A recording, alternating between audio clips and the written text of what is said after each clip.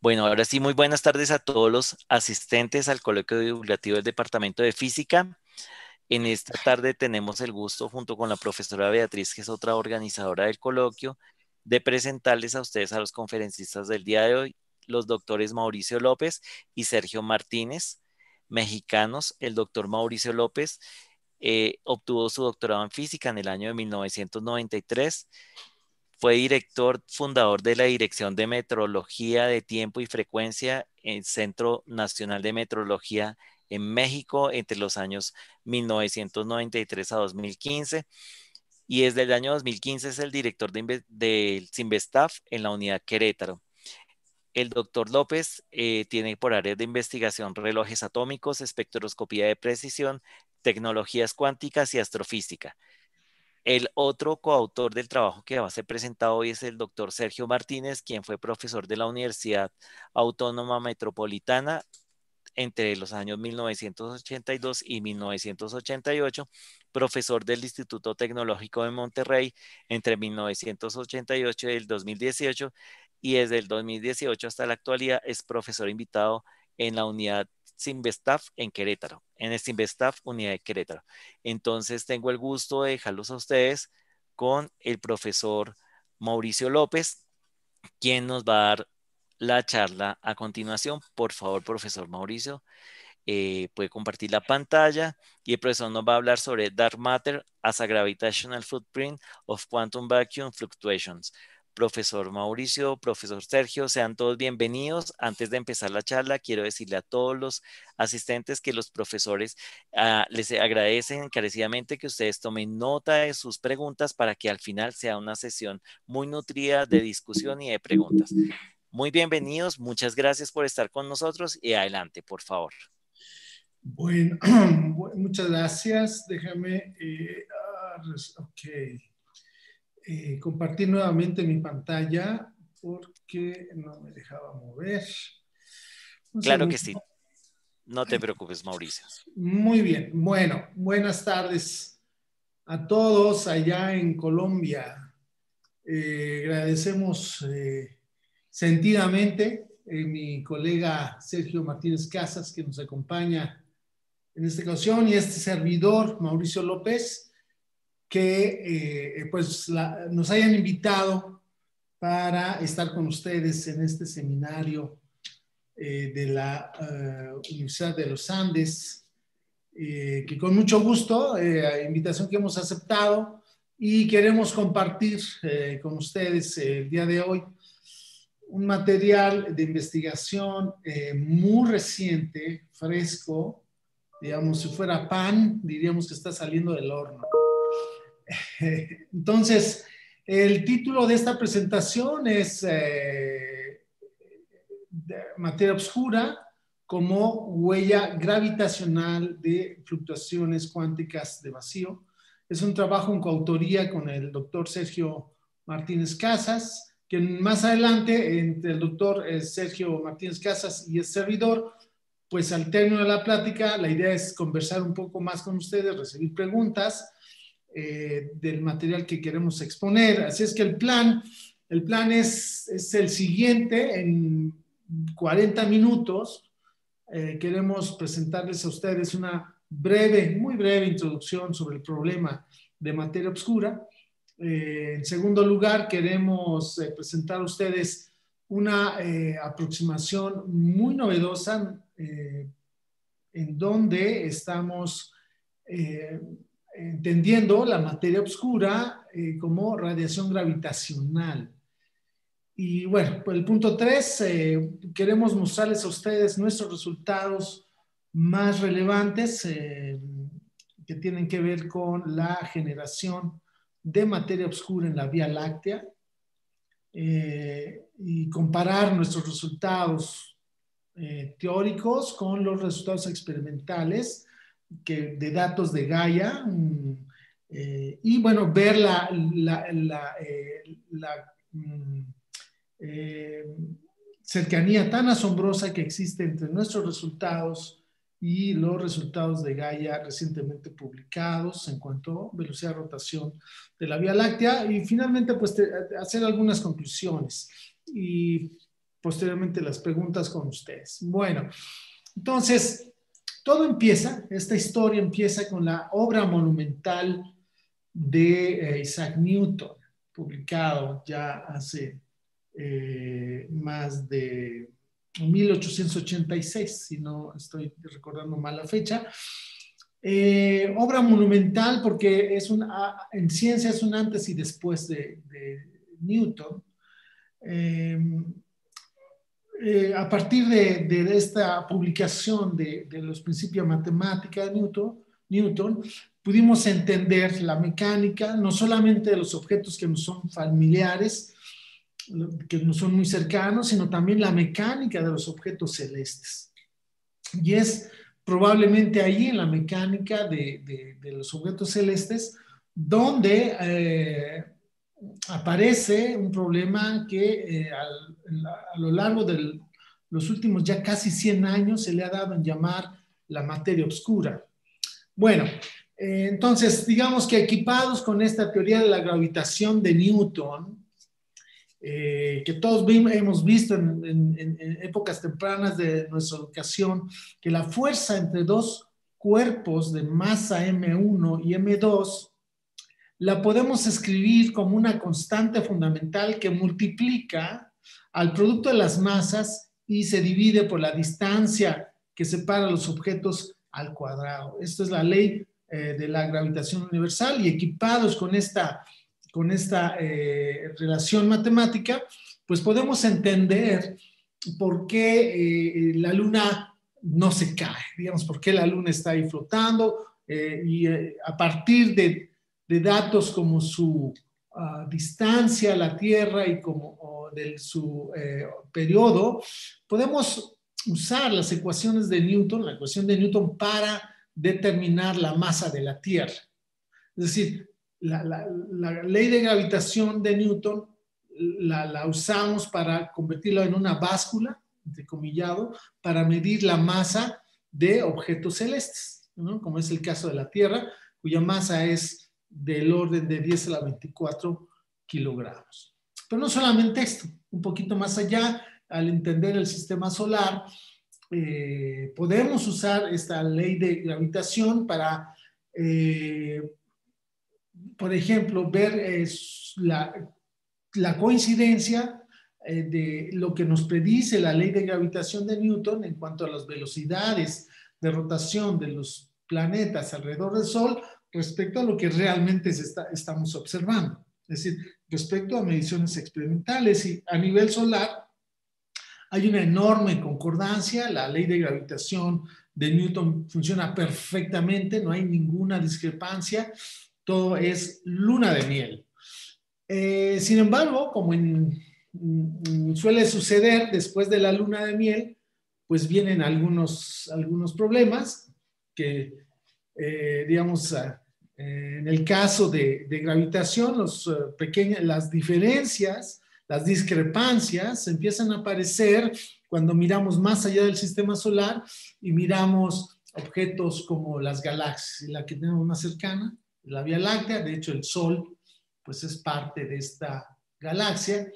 Y al medir la velocidad de rotación de las galaxias eh, alrededor del núcleo de la Vía Láctea, pues encontramos, se encuentra experimentalmente que eh, después de una zona de transición al término del núcleo, la velocidad de rotación de las estrellas rápidamente alcanza una velocidad uniforme eh, de rotación de poco más de 200 kilómetros por segundo eh, en su desplazamiento alrededor del núcleo de la galaxia. Pero este hallazgo representa un problema. ¿Y cuál es ese problema? Pues el problema es que la, eh, ley de gravitación de Newton nos predice un comportamiento diferente. Nos predice de que cuando salimos del núcleo de la galaxia entramos a una, zona densamente poblada y cuando conforme nos alejamos del centro de la galaxia, uno esperaría que la velocidad de rotación decreciera y se fuera pegando asintóticamente a una velocidad de rotación cero con un comportamiento que va como uno en raíz de r. Sin embargo, lo que estamos observando es de que la, la, gráfica verde, que son los datos experimentales, no coinciden con eh, lo que nos predice eh, la, ecuación de, la, ecuación de gravitación de Newton. Entonces aquí empiezan los, como dije, los problemas o las discrepancias entre, la, entre Newton y lo que estamos viendo a nivel experimental. ¿Dónde radica el problema? ¿Cuál es la solución? Ya desde muchos años atrás, tan temprano como 1884, personajes como Lord Kelvin, que sabían de este problema, de eh, la no, no concordancia de, de, lo que nos predice Newton y, lo que realmente se observa, eh, Kelvin sugiere en su momento que la, eh, existen o pueden existir objetos oscuros en, la Vía Láctea, es decir, a diferencia de las estrellas que emiten luz, estrellas normales, eh, eh, lo que alguien especulaba sobre la posibilidad de que existieran objetos oscuros no, que no emiten luz, que por lo tanto que no se pueden ver, cuya masa estuviera contribuyendo para que la velocidad de rotación pues se mantuviera constante y, a su vez obedeciendo las, las ecuaciones, la ecuación de Newton. Entonces ya aquí vemos que la solución es eh, suponer que existe más masa eh, em, que da cuenta de la velocidad de rotación constante y mm, entre más galaxias se, se observan, el problema se, se vuelve a repetir, es decir, la, mayor parte de las galaxias, hay algunas que no, de esos comentarios más adelante, eh, la velocidad de rotación rápidamente llega a una velocidad de saturación que está alrededor de los 200 kilómetros por segundo. Eh, quiere decir esto que em, parece ser que las galaxias eh, contienen más materia de la que estamos viendo, o al menos de la que materia ordinaria, de la que podemos detectar con nuestros telescopios y con nuestros métodos tradicionales de observación. Y ya hacia 1933, Fritz Zwicky sugiere el término materia oscura para referirse a esta materia faltante que no estamos viendo, que eh, da cuenta de las velocidades de rotación constantes. Bueno, entonces, hacia estas alturas, 1933, el problema parecía, parecía ser de que un problema observacional, quizá mejorando nuestros métodos de, de observación del cosmos, podríamos finalmente encontrar esos objetos faltantes. El problema se viene agudizando al paso del tiempo al punto de llegar a una crisis, vamos a llamarlo así, el problema se agudiza, se convierte en crisis. Y ah, fenómenos como eh, eh, eh, lente gravitacional se suman a, estas, a, esta posibilidad de, la existencia de materia que no estamos viendo, pero que hay suficiente en, las galaxias y en el espacio entre galaxias, de tal manera que puede esta materia que no vemos curvar las, las trayectorias de la luz y provocar lo que llamamos lente gravitacional. Aquí la gran sorpresa de todo esto es de que la materia oscura es mucho más abundante que la materia ordinaria. Entonces, ¿qué tan más abundante? Pues aproximadamente del orden del 80% de la materia del universo es materia oscura y una rebanada mucho más pequeña, del orden del 20%, corresponde a materia ordinaria. Pero uno se pregunta, ¿qué? Se pregunta, ¿qué es ese, este tipo de materia que no vemos y que hasta donde las mediciones eh, nos, informan, eh, solamente interactúa gravitacionalmente, no presenta interacción eléctrica, no interacciona con la luz, no tiene color en el sentido del modelo estándar, en fin, entonces es una materia exótica que solamente interacciona gravitacionalmente, a diferencia de la materia que tenemos al alcance en nuestros laboratorios. Es más, nosotros mismos, nuestros cuerpos están hechos de materia bariónica o materia convencional, en donde hay, es una materia que eh, interacciona gravitacionalmente, pero además interacciona eléctricamente, ¿no? eh, no así la materia oscura. Entonces, se quedan preguntas abiertas, preguntas como de, qué está hecha la materia oscura, ¿Qué es, ¿Qué es esa materia exótica que no está compuesta de átomos. Esa materia no puede estar formada de átomos de hidrógeno, ni, de electrones, ni, ni neutrones, ni eh, eh, protones, porque si de ser formado de estos componentes, sería materia ordinaria y tendría interacción con la luz. Entonces, esta materia exótica no está hecha ni de electrones, ni de protones, ni de este, componentes que conocemos bien, y tampoco sabemos cuál es la fuente, o no sabíamos hasta ahora, salvo los hallazgos que queremos compartir con ustedes, eh, ¿Cuál es la fuente? ¿Cuándo se origina esta materia oscura? ¿Quién, la, quién la, crea? ¿En qué momento se, se, produce? Tenemos al alcance una gama de teorías que, que andan rondando la comunidad científica ya desde hace tiempo, eh, que eh, tienen el propósito de formar estos marcos teóricos para entender la materia oscura.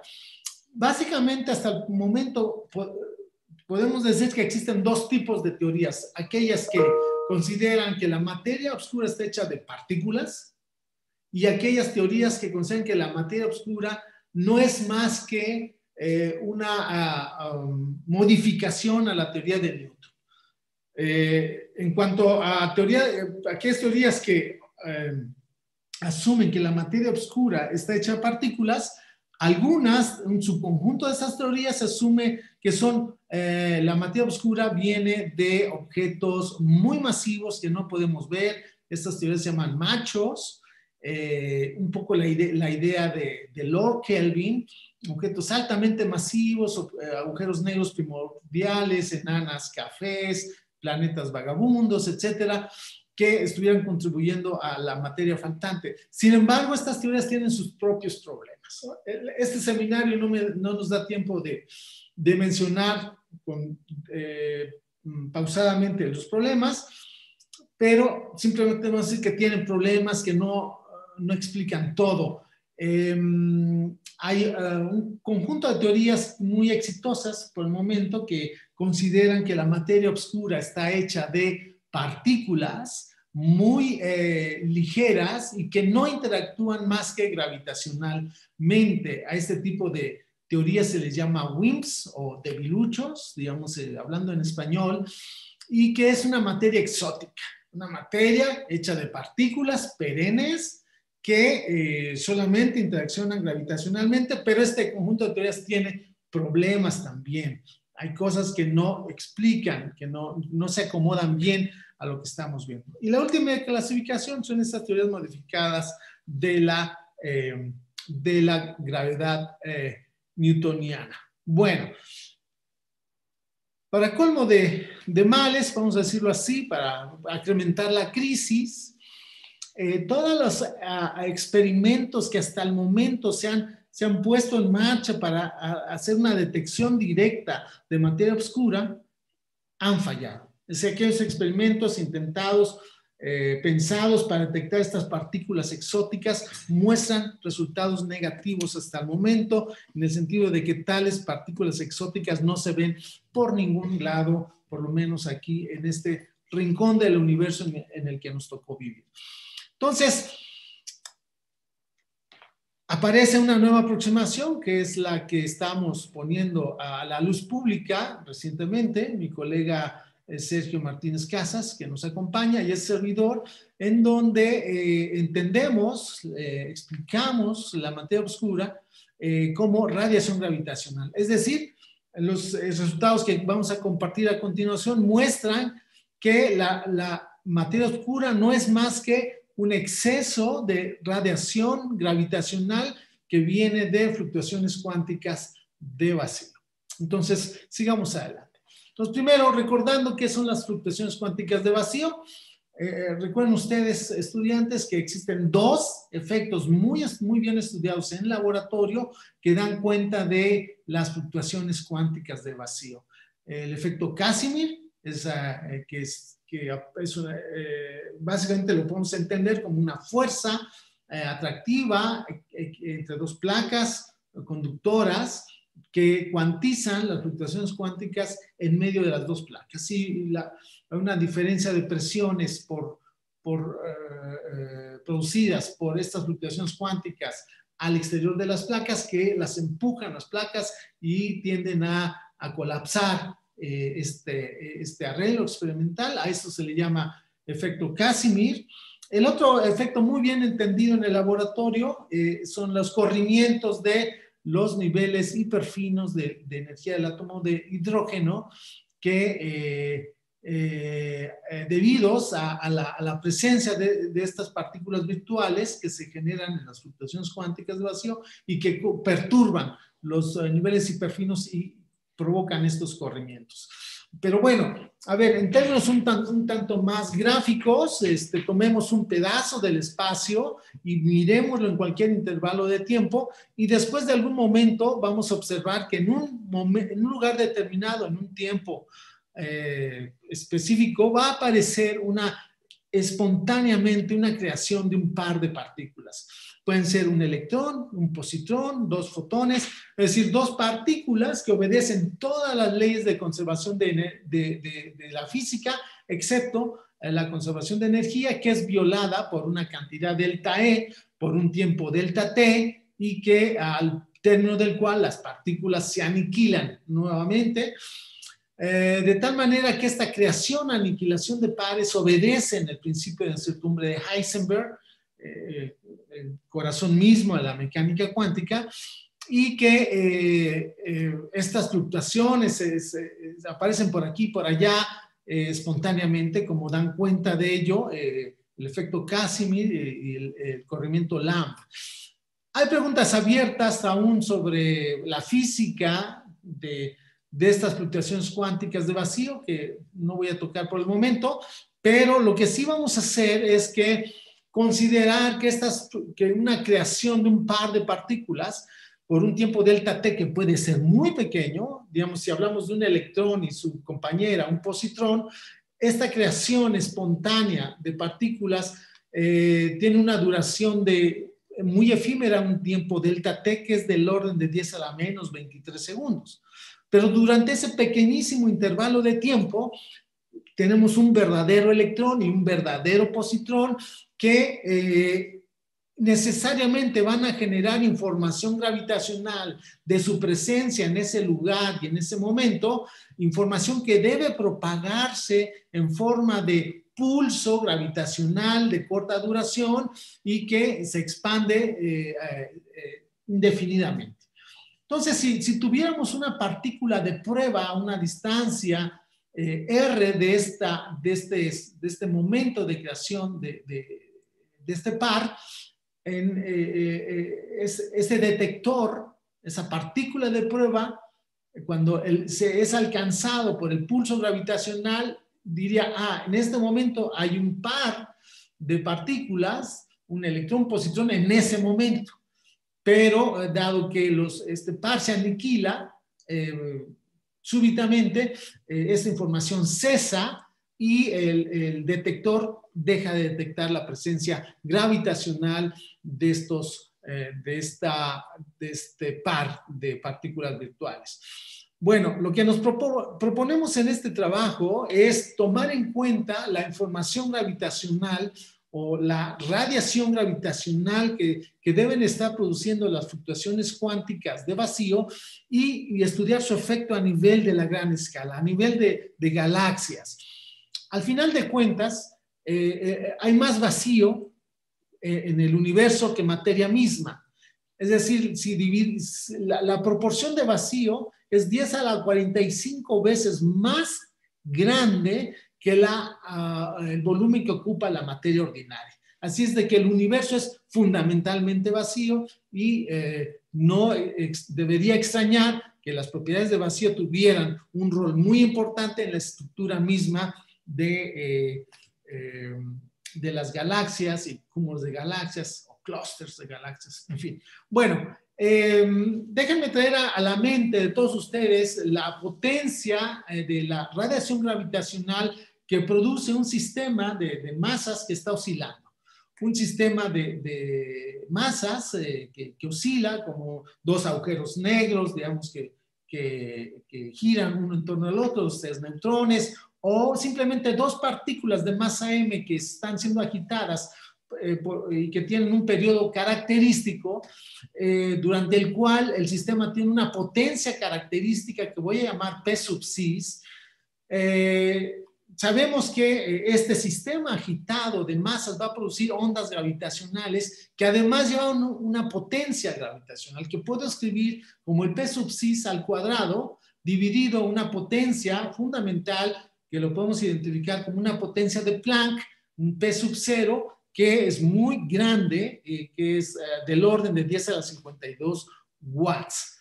Bueno, eh, si aplicamos esto a, las fluctuaciones cuánticas de vacío, vamos a encontrar cosas muy interesantes. Pero antes de eso, déjenme considerar un, espacio un volumen, digamos, eh, esféricamente simétrico que en cada punto genera una eh, eh, radiación gravitacional que voy a, caracterizar por una densidad de, potencia de radiación gravitacional que voy a escribir como P minúscula. Si en este elemento diferencial de volumen eh, eh, se, produce una ah, potencia de radiación gravitacional diferencial de P, yo me pregunto cuál es el, efecto de esta radiación gravitacional sobre el punto R que voy, voy a, identificar a través del vector R. Entonces, no, no quiero ocupar mucho tiempo en los detalles matemáticos, pero relativamente es fácil convencerse que la densidad, eh, eh, el flujo de energía en el punto R de interés, debido a la presencia de este elemento radiador de potencia gravitacional, pues lo podemos escribir, me voy a ir rápido en esta parte, en términos de una densidad de energía que va a estar ligado al flujo de energía que, el elemento diferencial produce en el punto de interés dividida la velocidad de la luz. Es decir, en el punto R de interés voy a tener una densidad de energía de, e, minúscula, E minúscula, que produce este elemento diferencial, que finalmente puedo eh, eh, conocer eh, la densidad de energía total en el punto R si hago una integral en todo el volumen de la potencia gravitacional que estos elementos diferenciales están generando.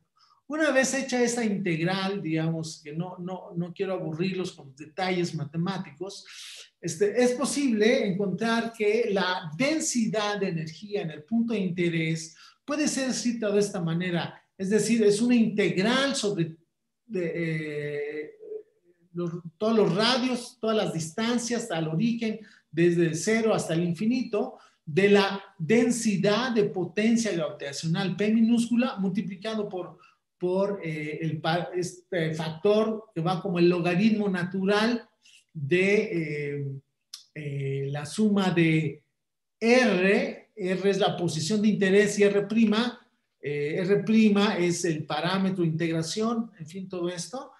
Em, puedo escribir, ahora escribamos esta densidad de energía en términos de una densidad de masa, utilizando la equivalencia masa-energía de Einstein, que todos conocemos, de tal manera que en el, en el punto de interés R vamos a tener una densidad de masa que, va, que vamos a identificar como materia oscura en el punto R, que, podemos escribir de esta manera. Esta es la primera ecuación relevante que vamos a tener en, este, en esta insertación. Por eso la pongo en un recuadro y le pongo una flecha roja para recordarla bien porque más adelante la vamos a usar. ¿Qué tenemos entonces? Tenemos que una distribución de elementos radiadores de potencia gravitacional van a producir un efecto neto de una densidad de masa neta que le voy a llamar densidad de materia oscura en el punto R que puedo escribir de esta manera. Muy bien, pero ¿quién es esta P minúscula?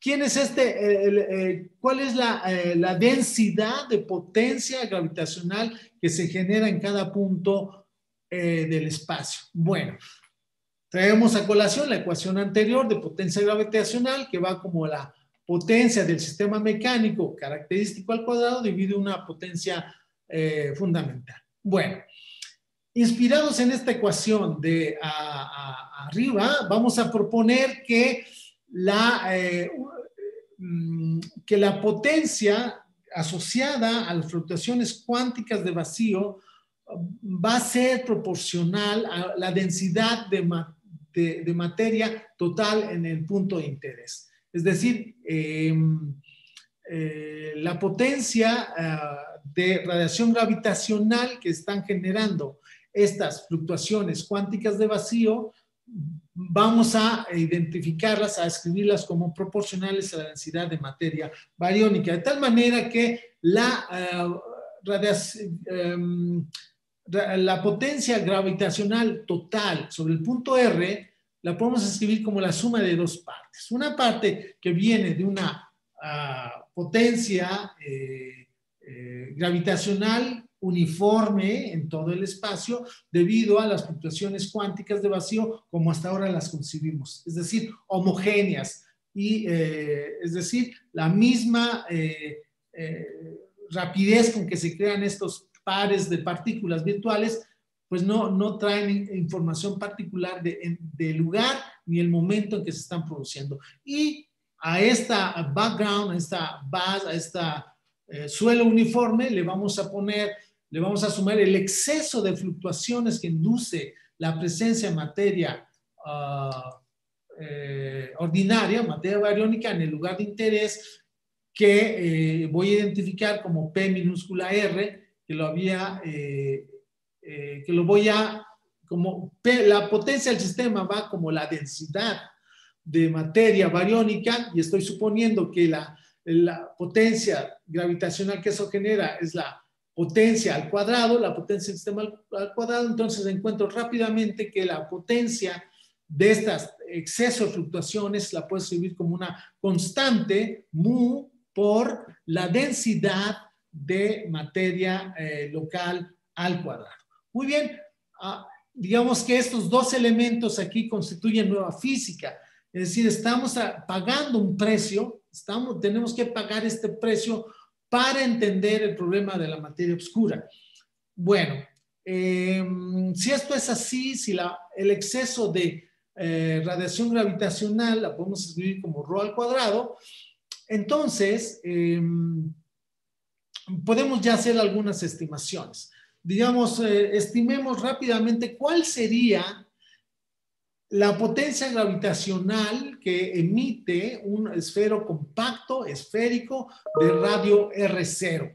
Pues lo único que tengo que hacer es la integral de esta potencia eh, eh, local, es decir, que produce que, densidad potencia que se produce en cada punto R, integrado todo el volumen, cuando integro sobre los ángulos me da un, 4pi, un factor de 4pi, y al integrar sobre eh, eh, la distancia al, centro de la distribución, pues rápidamente encuentro que lo puedo escribir de esta manera, porque yo supongo que la, la P minúscula la puedo escribir como la constante por la densidad local al cuadrado de materia barónica, multiplicado por este elemento eh, que viene de integral en el volumen esta, esta integral la puedo aproximar a lo que tengo a la derecha de la siguiente manera.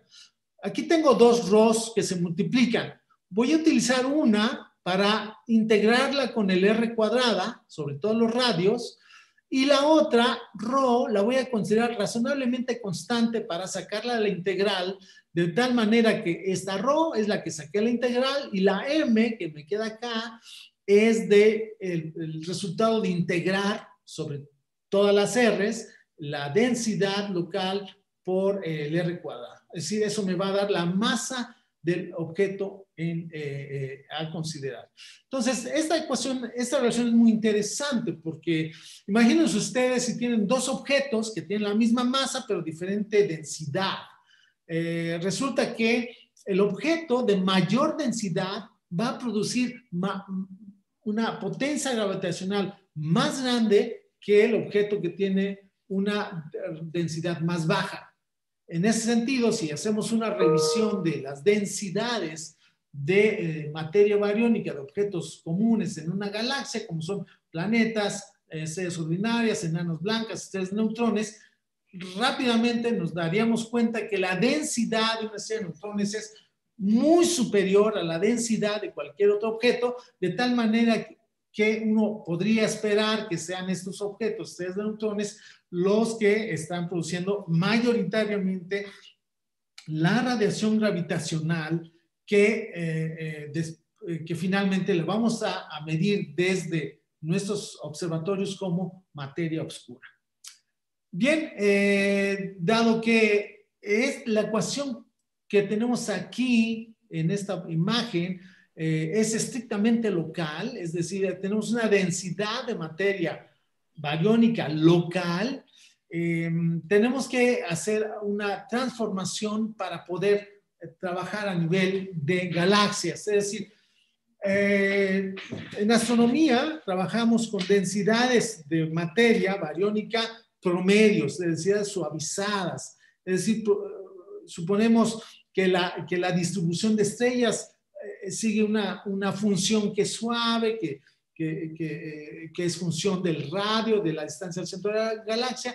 Y lo mismo tenemos que hacer para las estrellas neutrones a efecto de eh, tomar en cuenta, em, eh, eh, poder hacer las integrales. No voy a ocupar más tiempo, podemos hacer la relación de la densidad de estrellas neutrones, em, de, es decir, la, densidad de estrellas neutrones la voy a escribir como una densidad de número n sub s multiplicado por la masa promedio de estrellas neutrones, de tal manera que voy a tener una densidad de potencia suavizada a esta densidad suavizada que voy a poder escribir como la ecuación que tengo acá abajo. Es una, una potencia que ahora es proporcional a la densidad suavizada de estrellas neutrones. Ojo, esta relación es muy interesante porque en este caso, en la versión suavizada de la densidad, ya no va como, al, como cuadrado, va como es lineal, de tal manera que esto va a tener consecuencias muy interesantes. Aquí hay una constante P0 sub M0 que más adelante vamos a determinar. Bueno, entonces si yo uso esta P minúscula en las ecuaciones anteriores, puedo encontrar rápidamente que la densidad de materia oscura la puedo escribir como esta integral que tengo acá y donde tengo dos parámetros muy importantes. El cociente P0 en M0 por la densidad suavizada de estrellas de neutrones. Muy bien, eh, voy a suponer ahora que la densidad suavizada de estrellas de neutrones sigue fundamentalmente la densidad suavizada de, de materia bariónica, salvo una, un factor eh, F, que al caso de la Vía Láctea la voy a considerar constante, igual al 1%. Si esto es así, entonces voy a proponer ahora que la densidad suavizada de materia bariónica se comporta de esta manera, es decir, una parte que da cuenta de la densidad de estrellas en el, en el núcleo de, la galaxia y una parte que da cuenta de la densidad de materia bariónica en el halo de, una galaxia tipo eh, Milky Way. Bueno, utilizando estas eh, ecuaciones puedo hacer la integral que para la densidad de materia, de materia oscura y se encuentra esta ecuación que estamos remarcando aquí. Nuevamente el cociente P0 en M0 que voy a calibrar utilizando las propiedades de la Milky Way, la velocidad de rotación del sistema solar o del Sol alrededor del núcleo de la galaxia y que multiplica parámetros que dependen de propiedades bien conocidas de la, eh, de la eh, Vía Láctea. Ahora, a, continuación, toma en cuenta los valores numéricos de, eh, que caracterizan a la Vía Láctea, como el, total de materia bariónica, la distancia del Sol al centro de la galaxia, en fin, la velocidad de rotación del Sol al, centro de la galaxia, y voy a escoger este valor para el parámetro P0 en M0 de tal manera que cuando yo resuelvo las ecuaciones me da una velocidad de rotación del Sol alrededor del centro de la galaxia que es de 160 kilómetros por segundo porque ese valor lo conocemos muy bien experimentalmente. Bueno, ya no los aburro más, les presento los resultados. Esta es el resultado de, esta densidad de materia oscura para la Vía Láctea, eh, comparado, digamos, es la gráfica naranja, comparado con el gráfico azul, que es la densidad de materia barónica para la misma galaxia, Vía Láctea. Aquí, en esta posición, está eh, eh, el Sol, el sistema solar. ¿Qué podemos hacer ahora con la densidad de masa? Podemos encontrar la masa encerrada. Si, yo integro la densidad de masa desde 0 a un, radio R, encuentro la masa encerrada, que son, la estoy poniendo eh, en este gráfico. El, sistema solar se encuentra a 8 kiloparsecs del núcleo de la galaxia, de tal manera que los valores de la masa total encerrada para eh, aquí a nivel del Sol, pues es de esta manera. Noten ustedes que la, densidad, la, la materia obscura, encerrada eh, hasta el Sol, es prácticamente igual a la materia bariónica encerrada a esta distancia del centro de la galaxia. Ahora bien, ¿qué puedo hacer con esta masa total? Lo que puedo hacer es encontrar las curvas de rotación a través de esta ecuación que está acá, que la curva de rotación, la velocidad de rotación alrededor del, centro de la galaxia, pues la, la puedo escribir como la constante gravitacional G mayúscula por la masa encerrada dividido la distancia al centro de la galaxia y obtenemos esta curva que está acá. Donde estoy marcando la curva total de rotación de las estrellas en el, en el caso de la Vía Láctea y las dos componentes, la componente de materia oscura y la componente de materia bariónica.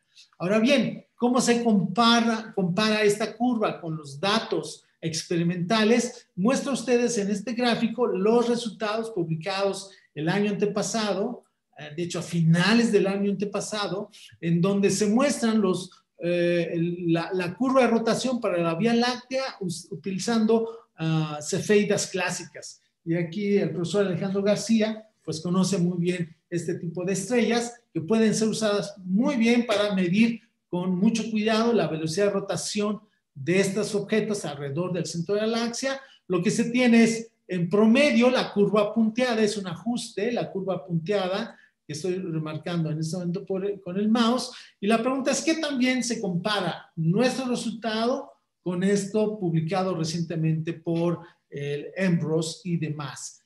Bueno, aquí tengo este gráfico donde estoy superponiendo nuestros resultados, que son las curvas continuas, las curvas azules continuas, y se observa ahí la, la, curva punteada, que es el resultado ah, experimental reportado por Ambrose. Ya de entrada vemos una, una concordancia muy interesante. Si quitamos los puntos eh, experimentales y nos quedamos con el ajuste de Ambrose y con nuestros resultados, pues tenemos este, esto que tenemos aquí, una concordancia, una ah, em, similitud de curvas muy interesante casi idénticos, yo diría, eh, en donde eh, el trabajo del doctor Sergio Martínez y este servidor eh, predice una curva de rotación que es, coincide con la curva de rotación reportada muy recientemente por, por Ambrose. Aquí está, ah, perdón, aquí se movió este dibujo, estos circulitos deben estar abajo en las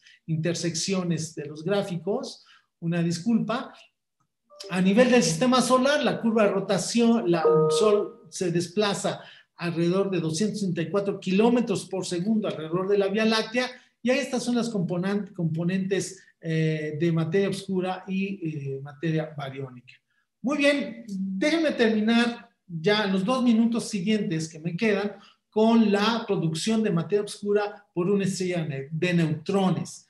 Eh, si tomo en cuenta que nuevamente mi ecuación fundamental y la densidad eh, de, eh, de, masa de una estrella de neutrones, que la puedo escribir como, como en esta ecuación estoy pintando, entonces cuando integro, eh, encuentro la potencia total que produce una estrella de neutrones, encuentro un cierto valor y cuando determino la masa total, encuentro este otro valor, simplemente hago las integrales y cuando se realiza el cociente P0 en M0, encuentro el parámetro eh, fundamental que, de esta eh, exposición que, que, estoy haciendo, que se relaciona precisamente con la constante mu multiplicado por la densidad del estado de neutrones en el centro de la misma.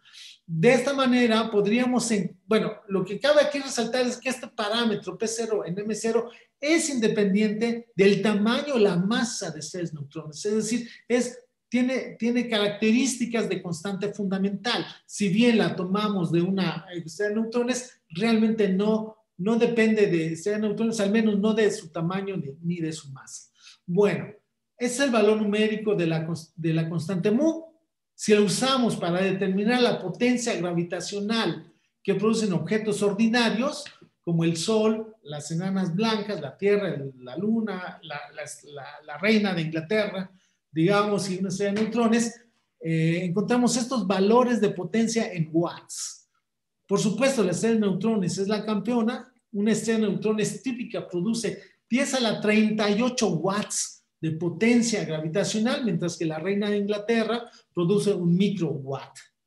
Estos valores son interesantes, ya que podría eh, ser usados para diseñar un experimento a fin de comprobar o refutar, en todo caso, la teoría que estamos presentando. Finalmente, la densidad de materia oscura que produce una estrella de neutrones es esta que tenemos aquí. Eh, cabe mencionar que, que es una, una densidad de comportamiento suave, eh, no hay eh, discontinuidades ni puntos donde las derivadas no existan, es un comportamiento bien, es un asunto bien comportado y con un comportamiento asintótico que va como uno en R cuadrada, como es de esperarse para, para, una, para un efecto de radiación gravitacional. Finalmente, déjenme terminar y rápidamente paso a las conclusiones. Entonces, ¿qué tenemos? Un nuevo mecanismo por el cual podemos entender la materia oscura como un eh, efecto gravitacional de fluctuaciones que se originan en las fluctuaciones cuánticas de vacío. Se encuentra que las tres neutrones son las principales generadoras de materia oscura y podemos explicar las propiedades muy bien conocidas de materia oscura, como que no tiene masa, no tiene carga, solamente interacciona gravitacionalmente y eso se deriva fundamentalmente de que al fin de cuentas la materia oscura no es más que radiación gravitacional. Es decir, no hay partículas de materia oscura, todo, es todo tiene que ver con radiación gravitacional. También podemos explicar por qué algunas galaxias presentan más materia oscura que otras y esto se explica fundamentalmente a una diferencia de población de estrellas neutrones entre, entre galaxias. Bueno, voy a terminar aquí porque sí quiero dar oportunidad a los estudiantes de que, que, que expresen sus preguntas. Este, no sé, y, para que las preguntas difíciles las conteste mi colega eh, Sergio Martínez Casas y yo voy a contestar las fáciles. ¿No? Bueno, muchas gracias. Muchas gracias, Sergio. Muchas gracias. Le invito primero que todo a todos los que están en, su micrófono y le demos las gracias a los profesores con un gran aplauso por esta charla tan interesante.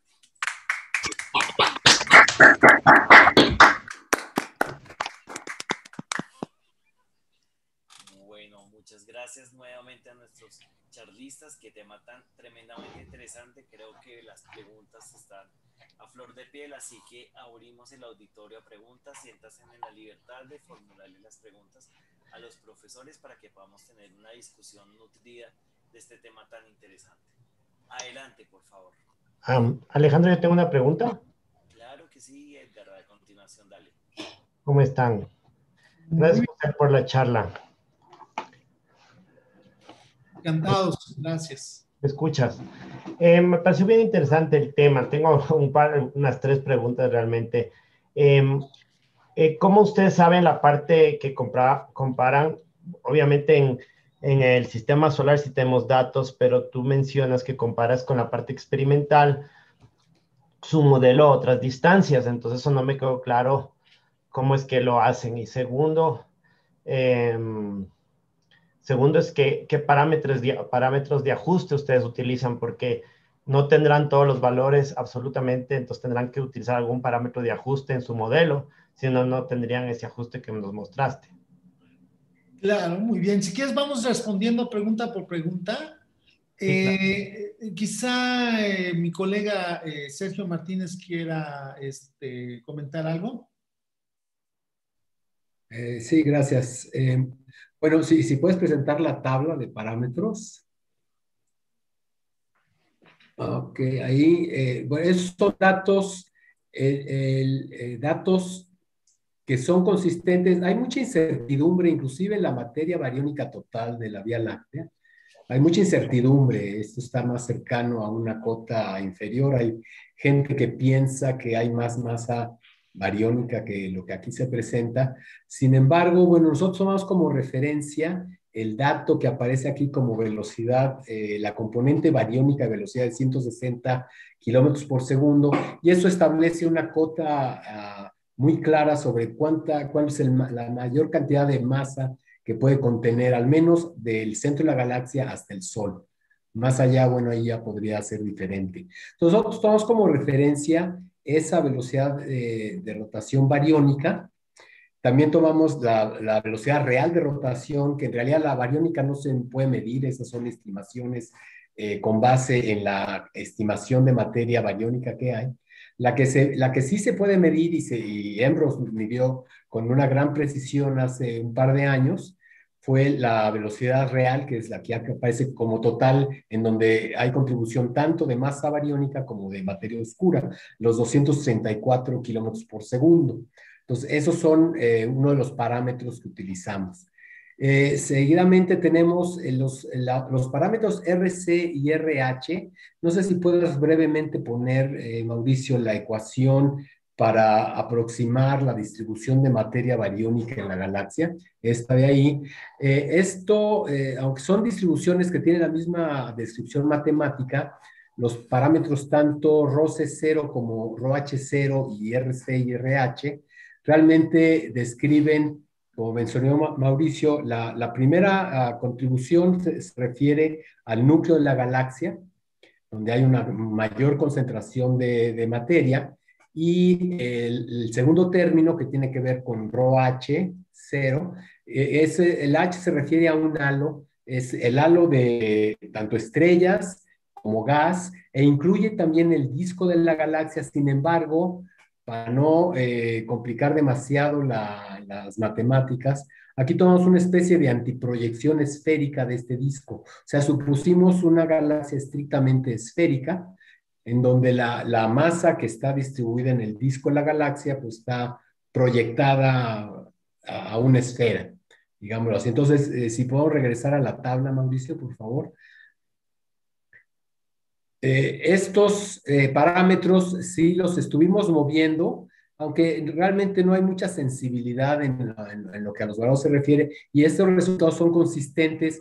Por ejemplo, esto da cuenta de la, más o menos, eh, estamos diciendo que el núcleo de la galaxia anda al, del orden de 1.3 kiloparsecs, en otras palabras, a 1.3 kiloparsecs del centro de la galaxia, la densidad ya solamente eh, eh, cuenta el 1% de la densidad en el centro, la Rho, a C0 que aparece más abajo. y de forma ah, análoga tenemos el tamaño del halo, que alrededor de 20 kiloparsecs, que es un poco más del doble de la distancia del, Sol al centro de la galaxia. También tenemos la densidad, de, esa contribución ya se redujo también al 1%.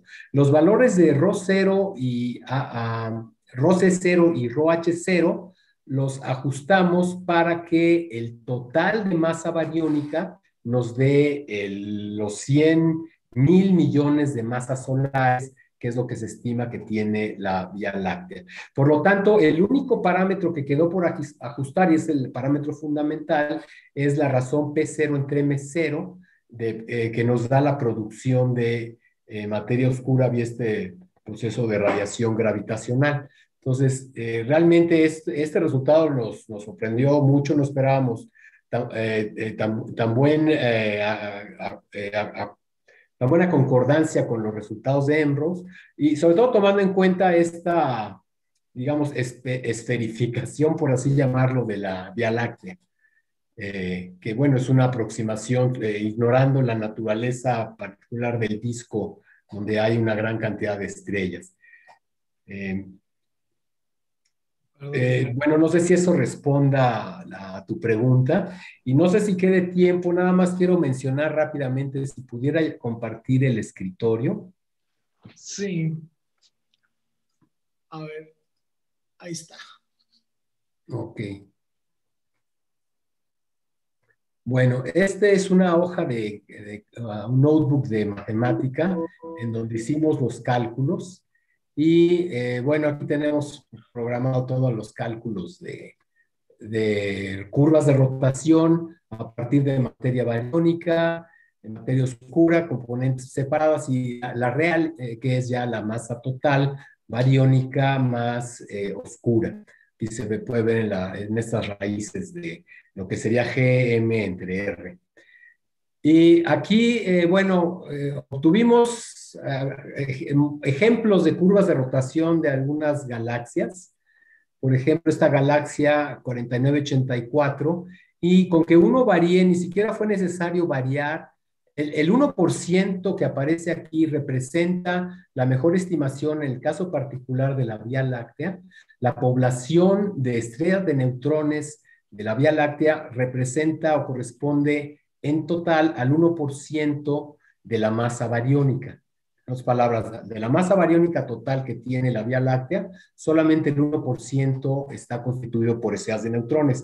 Faltaría, aquí podríamos todavía jugar con, eh, posiblemente hay una mayor concentración de relativa de estrellas de neutrones en el núcleo, porque es más antiguo, si usted, no sé qué tanto sepan sobre la evolución de estrellas, pero las estrellas de neutrones se van generando conforme eh, las estrellas van envejeciendo hasta que eventualmente se vuelven estrellas de neutrones. Esto quiere decir que una galaxia joven va a tener una población relativa muy baja de estrellas de neutrones en comparación con una estrella ah, vieja, que, eh, donde va a tener muchísimas más estrellas de neutrones. Sin embargo, en estos, eh, al menos en el ejemplo de la galaxia NGC 4984 que muestro aquí abajo, eh, usando el mismo parámetro, y lo único que hicimos aquí fue jugar, variar las masas. No, no tengo la información directa, no sé qué masa tengan estas galaxias, esta galaxia, pero al irle moviendo aquí al valor de la masa total, eh, por ejemplo, eh, eh, eh, donde está, bueno, aquí ya le moví un poquito, pero al ir variando esta masa y los parámetros del tamaño del núcleo, lo cual es, un tamaño razonable para el núcleo y eh, para el halo, son, son tamaños que físicamente tienen sentido, no sé la correspondencia con la realidad, pero nada más ir moviendo, por ejemplo, aquí ir variando la masa total de la galaxia, uno puede ir moviendo, regresando a tu pregunta sobre los parámetros y a encontrar un ajuste que pues, para mí es más que razonable, no nada más cualitativo, sino también cuantitativo. Eh, aunque eso obviamente pues, lo, podemos hacer a ojo, no tengo los números para, para cada una de estas curvas. Eh, otro ejemplo es una galaxia conocida como Godzilla, es de las galaxias más masivas que se conocen, la UGC 2885, y sin cambiar absolutamente nada del modelo, salvo los parámetros, aquí obviamente necesitamos una masa total de alrededor de tres, un poco más de tres veces la masa de la galaxia. Esto da lugar a, velocidades de rotación en exceso de 300 kilómetros por segundo, esto compárenlo con los 234 para la Vía Láctea. Y de nuevo, eh, cualitativa y hasta cierto punto cuantitativamente, esta curva queda muy pequeño. Déjenme eh, tratar de agrandar esto un poco. Pero si comparamos esta gráfica con la gráfica reportada en, aquí está una liga, si quieren luego eh, tomar nota de ella, de donde saqué, saqué ejemplos de gráficas de, de curvas de rotación eh, hay que tener cuidado con las pruebas de rotación porque sobre todo muy cerca del núcleo es muy difícil obtener datos confiables. Eh, eh, porque allá el, movimiento ya no es, son órbitas así circulares bonitas que uno puede manejar con mecánica newtoniana. y sin embargo, bueno, es posible, con, variando estos parámetros, es posible reproducir, ¿sí? Este, creo que hay una intervención. No, yo quería aclarar, Sergio, una pregunta es, ¿cómo saben con respecto, solo sabemos con respecto al sistema solar donde estamos nosotros, pero los datos experimentales, ¿cómo hacen con respecto a lugares más lejanos? Si me hago eh, entender. y dos, y la otra cosa es que yo vi una curva que es oscilante. ¿Estaríamos hablando de ondas gravitacionales en ese caso? ¿Sería la no, esto es, no, estas oscilaciones, eh, si uno supone, como nosotros hicimos, una distribución suave con, simetría esférica, no van a ocurrir estas oscilaciones. Esta oscilación de aquí en realidad es consecuencia de la superposición de estas dos eh, distribuciones, ambas exponenciales, pero de diferentes, vamos a llamarle alcances, ¿no? En un caso, aquí tenemos un núcleo del orden de 1.8 kiloparsecs y aquí el halo de 24 kiloparsecs, muchísimo más grande, una densidad mucho más baja, o sea, como que se diluye mucho la, la, la, materia. Eh, y, esto, eh, eso es lo que da lugar a esta, esta aparente oscilación. Sin embargo, estas oscilaciones que se, ven más claras en, en esta gráfica es, es, consecuencia de la, de la estructura espiral de las galaxias.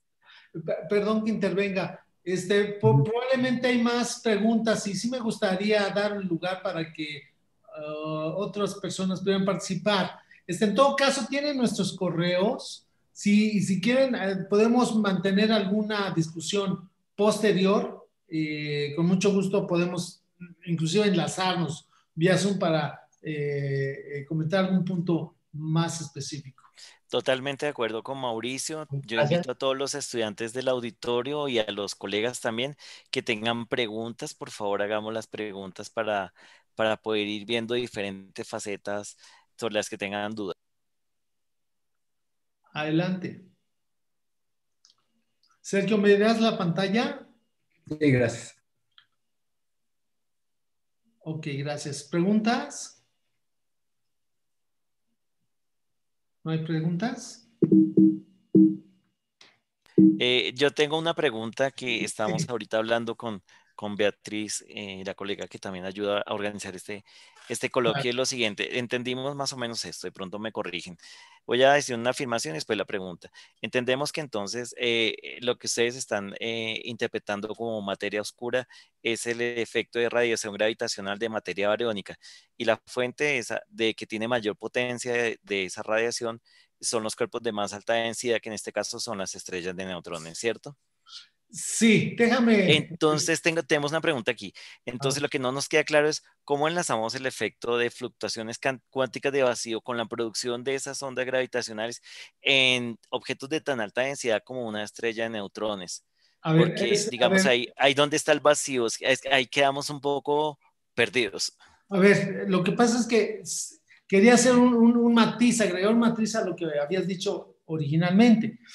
Lo que estamos la radiación gravitacional que, lleva potencia es, vienen de las fluctuaciones cuánticas de vacío, eh, eh, profesor.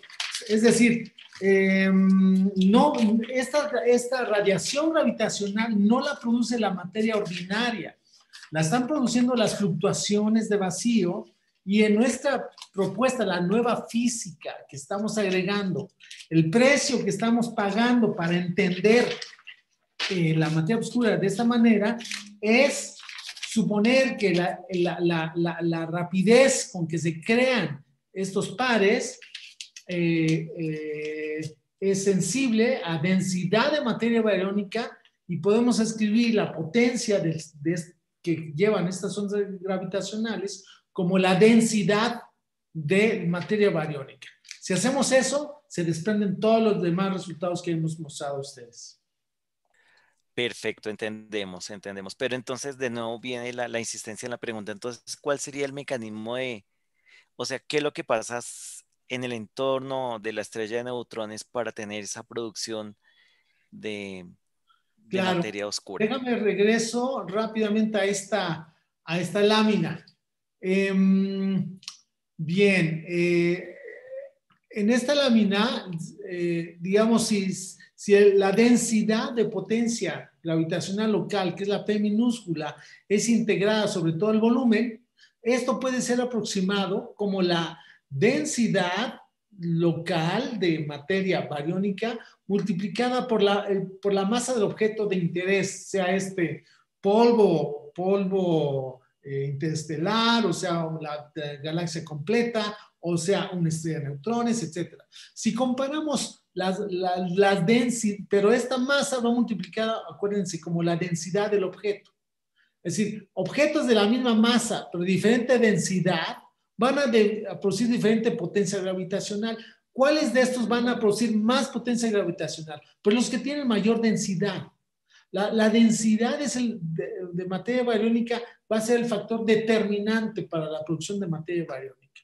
En ese sentido, resulta pues que las estrellas de neutrones van a ser los objetos que por mucho generan la ah, mayor cantidad de eh, eh, radiación gravitacional y por lo tanto son, van a ser los objetos que van a producir mayoritariamente eh, materia oscura. probablemente mi colega Sergio quiera comentar algo adicional, no sé. sí, bueno, pues buena oportunidad para, para mencionar, si te vas a las conclusiones, algo que ya no dio tiempo para que Mauricio presentara, eh, no sé si estén familiarizados con lo que es la inflación cosmológica, en la, muy al principio en la historia del universo. Eh, de repente sufrió eh, una expansión exponencial, es lo que se conoce como inflación cósmica. Y bueno, no sé, todo el mundo está de acuerdo que tiene que haber habido por las consecuencias que eso tuvo, pero nadie sabe bien cuál es el mecanismo que lo origina.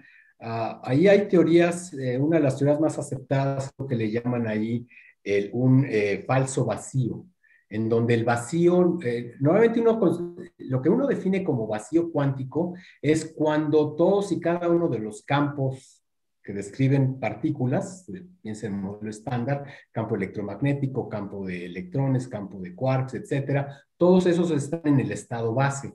Ahora, el estado base tiene una, energía mayor que cero.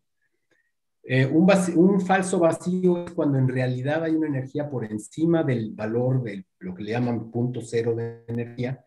Y eh, la teoría más comúnmente aceptada sobre inflación cósmica es que cuando el estado del universo disminuye su energía a partir de esta energía que no es la más baja que puede tener, eso da origen a esta a esta, a, esta gran expansión. Entonces, pensamos que esto muy bien podría estar detrás del mecanismo de producción de radiación gravitacional, que de alguna forma, que la verdad no, no conocemos porque no, no, se sabe tanto de lo que es el, el vacío cuántico, eh, como bien lo mencionó Mauricio, cuál es la frecuencia, eh, eh, dado un volumen de, de, de vacío, estricto vacío, con qué frecuencia se están produciendo estas fluctuaciones y qué espectro tiene, en otras palabras, eh, eh, la energía que tiene el par de partículas que se crean y luego, se aniquilan. Eso ahí, no se sabe mucho sobre, al respecto.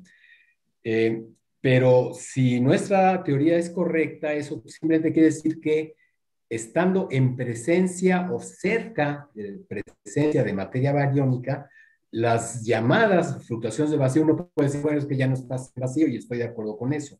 Ya no sería un vacío, porque estamos en la vecindad de, y, más en densidades de neutrones, con densidades de 10 a la 17 kilowatts por eh, metro cúbico. Bueno, eso, está, eso difiere mucho de mi idea de vacío.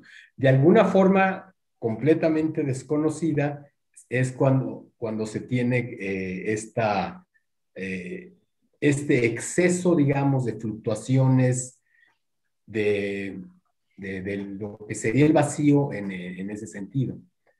Simplemente, eh, aún en, en, términos generales, aún en, presencia de materia, o sea, no en vacío, las fluctuaciones de todos modos se dan. O sea, uno no tiene que hablar de vacío para que haya fluctuaciones. Todo el tiempo está fluctuando todos los campos eh, cuánticos que representan al modelo estándar, cada uno de las partículas del modelo estándar tiene su correspondiente eh, campo cuántico, y aún cuando hay, fluctuaciones, y esto es consecuencia del principio de incertidumbre de Heisenberg, y eso no es negociable, o sea, a fuerzas, eh, dada esa incertidumbre, a fuerzas va a haber fluctuaciones.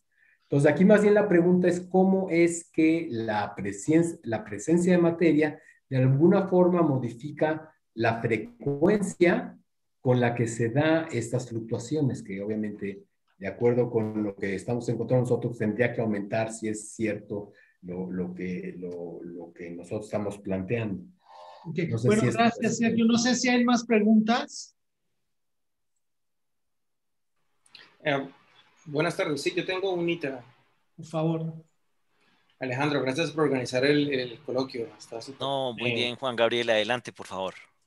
Eh, gracias, eh, Sergio y José, por, por, la charla. Yo solo tengo una pregunta. Esta idea de que materia digamos, bariónica puede interactuar con el vacío cuántico es una idea que ya tiene un, o sea, creo que fue propuesta como en el 2010 más o menos, si no me equivoco.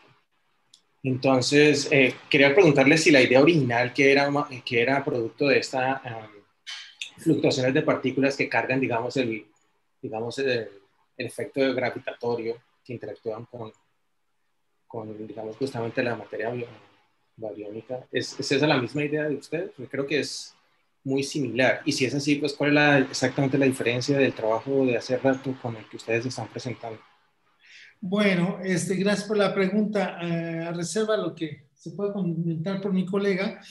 Este, bueno, son aproximaciones independientes. Déjame decirte que eh, en nuestro caso no fuimos inspirados en lo más mínimo. Es más, yo no conozco el trabajo que mencionas, de tal manera que no, no tengo los elementos en ese momento para decirte qué tan similar es nuestra propuesta con la que eh, mencionas que eh, apareció alrededor de, de, 10 años atrás. Em, lo, nuestra inspiración viene en el sentido de que hasta el momento eh, la, la, información gravitacional de las fluctuaciones cuánticas de vacío se ha ignorado. Uno. Dos, que el, el universo es fundamentalmente vacío. Si, si, tomamos en cuenta estos dos elementos, eso nos, nos inspiró en su momento a considerar si estas uh, radiación gravitacional que debe producir el vacío, porque no hay de otra manera, debe haber una radiación gravitacional que se produce en el vacío vía fluctuaciones cuánticas, cómo está afectando a la estructura del universo. En ese devenir, introducimos la nueva física que estamos proponiendo, que, la, que hay un exceso de fluctuaciones debido a la presencia de materia verónica, y de ahí se desprende una cascada de consecuencias muy gratas, en donde nos sugiere que la materia oscura no es más que radiación gravitacional que viene de fluctuaciones cuánticas de vacío. Déjame decirlo de esta manera. A ver, si, si, hay un, si tenemos un animal, ¿no? Que detrás de cortinas, que, que hace cuacuá y que de pronto le vemos un, un pico que es plano y patas planas, pues podemos llamarle razonablemente pato, ¿no? Que es un pato. En este sentido, lo que estamos haciendo es de que el animal se llama materia oscura, ¿no? Ese y, pero esta eh, materia eh, oscura, digamos, tiene características de radiación gravitacional, no tiene carga, hay una densidad de materia oscura que obedece también esta idea de radiación gravitacional, etcétera. Entonces, en esta analogía, es que creo que razonablemente tenemos eh, los elementos para llamar, insistiendo que la materia oscura no, es, no son partículas, no son teorías neutrales modificadas, es radiación gravitacional.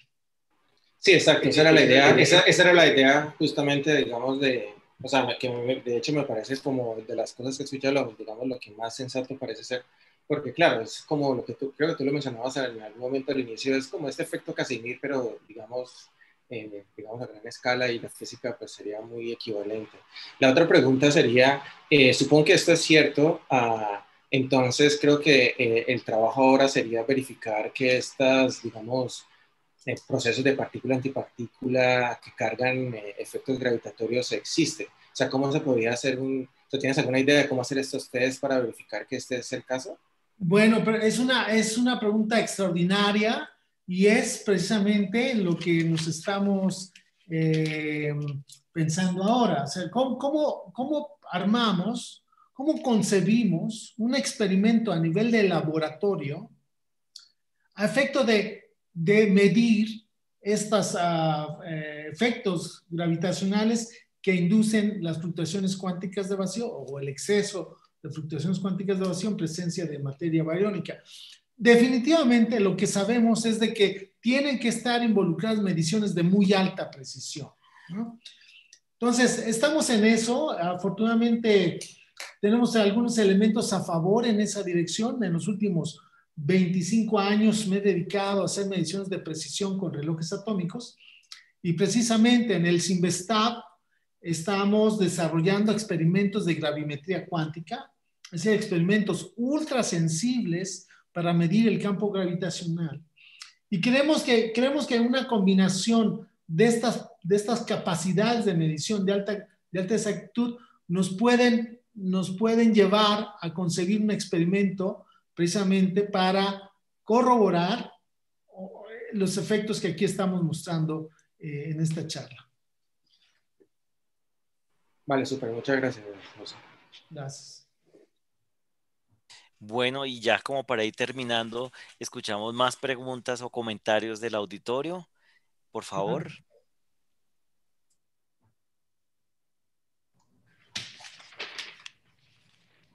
Tengo un comentario, eh, no sé si puedo mandar el comentario. Claro, Edgar, adelante. Eh, una pregunta, entonces, que hay estas reacciones de electrón-positrón, pues estos emitirían eh, partículas gamma, ¿no? Fotones gamma. Eh, no, no, no, a ver, no. Acordémonos lo siguiente. Cuando se aniquilan un positrón y un electrón que son producto de una fluctuación cuántica, ya no producen más partículas. Es decir, en principio, la energía que tomaron del vacío la devuelven al vacío. Es decir, lo que estaba vacío se queda vacío. A diferencia de una aniquilación, digamos, si tú tienes un electrón y un positrón por otro lado y vienes y los, los aniquilas, ahí hay producción de, de, otras partículas. No en el caso de fluctuaciones cuánticas de vacío. Mm, ya, ya, ya. Listo. Gracias. Bueno, entonces sea este el momento de nuevo para agradecerle a Mauricio y a Sergio por su trabajo tan, tan tremendamente extraordinario. Les deseamos lo mejor, de verdad, que en esta planeación de un experimento de mediciones ultra precisas sea exitoso y logren encontrar el diseño experimental y las pruebas para poder corroborar lo que ustedes están proponiendo. De nuevo, les agradecemos mucho por haber participado en este coloquio divulgativo del Departamento de Física. Invito nuevamente al auditorio a que abran su micrófono y le demos un aplauso de despedida a nuestros charlistas, a Sergio y a Mauricio. Muchas, pero muchas gracias.